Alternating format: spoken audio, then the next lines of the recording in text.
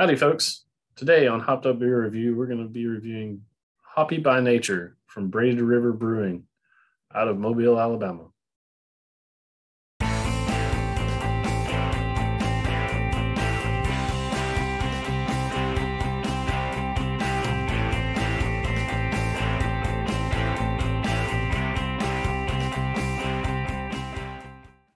Hey, everybody. Appreciate you guys checking us out here on Hopped Up Beer Review. We are the show that gives you our unprofessional and somewhat biased opinion about the beer we're drinking. There's nobody else out on YouTube that does that. So uh, we are that show.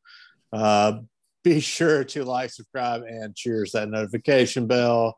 And also check us out on social media. The links are below in the description. I've got Jay, I've got Andy in the attic. I am Ben. We are ready to review some beer. What are we doing today, boys?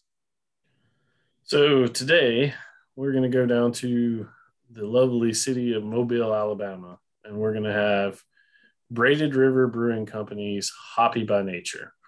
Um, want to give a quick shout out to Richard Whitehurst. He's their CFO.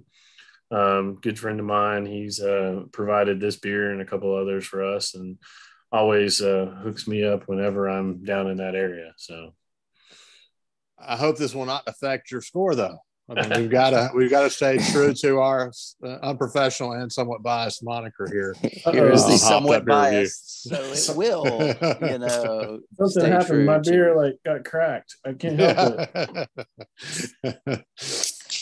Pouring right. itself. There you go. So this guess... is a uh, IPA it comes in at 6%. Uh, Andy, did you check the IBUs? How in the world do they do zero IBUs? What? Oh. Is that even legal?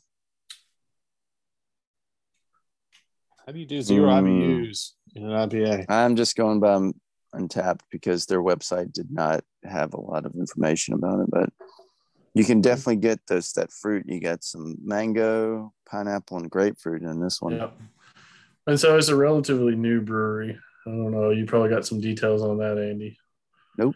Uh, it's a micro. But, it is a um, micro, and and they're one of those that unfortunately uh, they they uh, opened their tap room, their brewery at the start of the pandemic. So it's um, they have a yeah.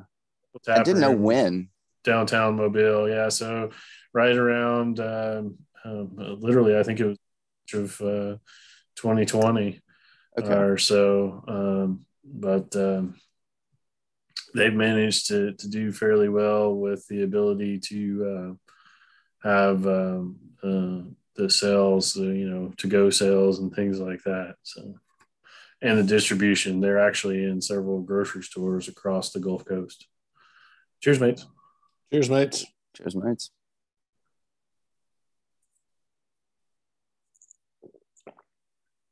I got to think if, if you own a brewery too, you don't really expect to make a, really any money for the first several years. So, you know, I mean, you, you obviously got to be creative, especially when you enter a pandemic. But right. I think if there's a bonus, there's probably a lot more people drinking.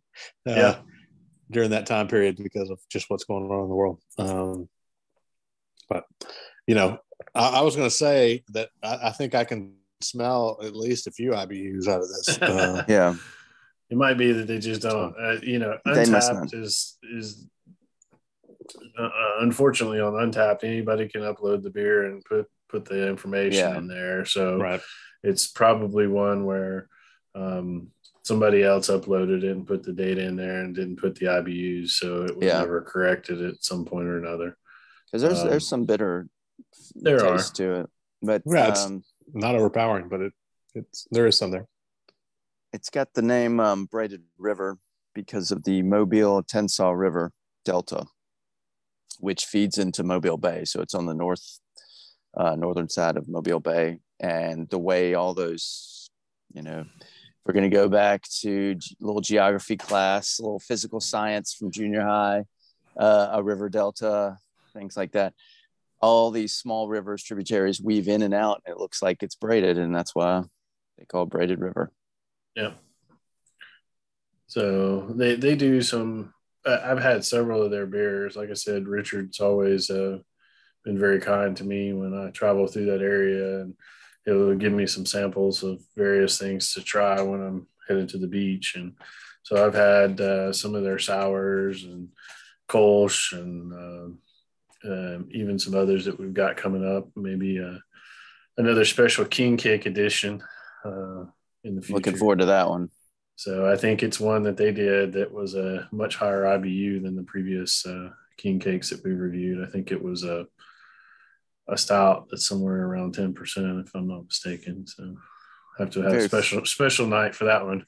it's very fitting, seeing that uh, Mardi Gras started in the U.S. started in Mobile mm-hmm. versus New Orleans.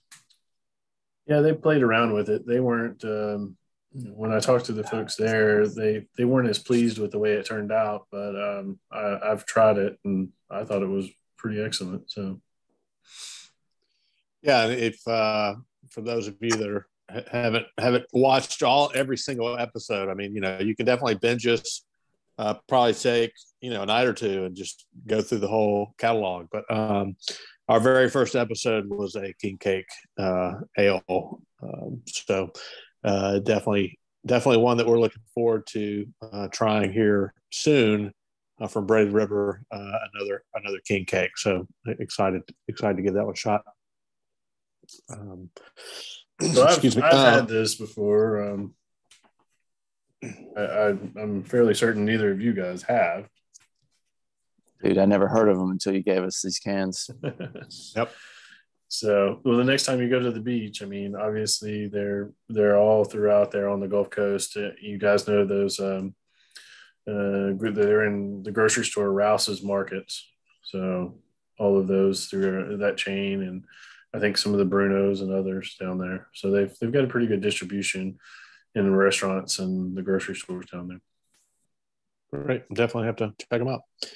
Um, yeah, I think uh, you know, it's it's definitely appreciate you you grabbing this and, and sharing it with us. Um, uh, definitely interesting for a new brewery. You know, we, we were recently uh, together at Brock's Gap, and that was a, a fairly new uh, brewery. And uh, it, it's great to see all these new breweries coming out with beer and you know seeing more out there uh, because uh, you know it, it, just gives us more content to uh, to produce uh, over the, the, coming years, uh, decades, millennium, you know, uh, whatever the case may be, however long we can, can keep doing this. So uh, excited about that.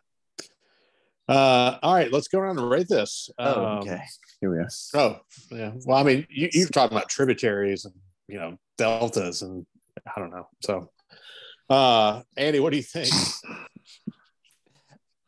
I, um, the more I drink it, the more I like it. Um, I was just kind of, I was a little trying to f- place it the first sip because it's an American IPA. Um, you know, I was thinking, okay, it's, it's, I, whether, you know, we discussed is it zero IBU correct? Don't know, but, you know, it was low on bitter, a lot of fruit. I like that. It's almost close to a, a juicy feel to it. So the more I drink it, the more I like it. And I'm going to give this a seven and a half. Um, I would definitely have it again. Um, it, it's a good one. Um, it's not that it's not obnoxious on the hops, which um, sometimes it can, you know, some that you have that can get out of hand. But um, I like to get that fruit feel um, out of an IPA too. So I wish I knew which kind of hops because you know I'm like, is it like a Citra type of hops? you know, more that east east coast type. So seven point five, I like it. Um, yeah, you know, we always talk about me not being the IPA guy here. Uh, so um, I come in with that that kind of lens, if you will. Um, Jay, were you talking about that? I wasn't talking about that. We, uh, you got a mouse in your pocket? You and Grogu there? You know? I used I used the collective we, you know. Uh, okay. So uh, you know, I don't I don't like to talk about myself too much. I, I like to include other people. So the old English, like the Queen or something. Uh, you know, whoever. um, but uh, I, I'm I'm really surprised I don't classify this one as a hazy, um, because of that mm-hmm. floral and that juice, and you know, it's it's not. I mean, it looks like an unfiltered, and and you know, it's hazy. Um, because that's what it tastes like to me, though. You know, if, if you handed this to me and said, "Hey, what does this taste like?" A hazy IPA all day long. Um, so, uh, you know, I, I if you're going to give me the choice between a hazy IPA and an IPA, I'm going to choose hazy all day long. Uh, you know, because it does tend to cut some of that bitter out. Um, so I, I, think for this one, I, I, think it's good. I think, um, you know, like you said, it's not too overpowering on the bitter, which is typically something I don't like. Um, and so uh, it's it's tasty. You know, there's nothing but good here. Uh, I think seven and a half is it's a great spot for it uh, as well. Well, yeah, I was just trying to think back. Um, I was there in March um, and, and had a really good visit to the tap room with Richard and the staff. Uh, they were fantastic. They gave us a little brewery tour. Um, I'm a little aggravated at myself for not uh, taking some video and, and doing more. I was trying to think back if they actually had a hazy on tap. I don't think they did. I know they had like a an imperial or a double.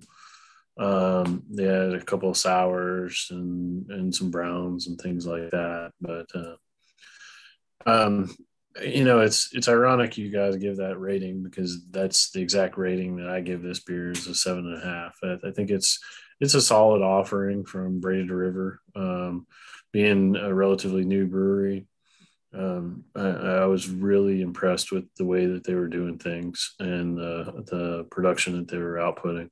So I'm glad we, was able to share this with you guys. So yeah.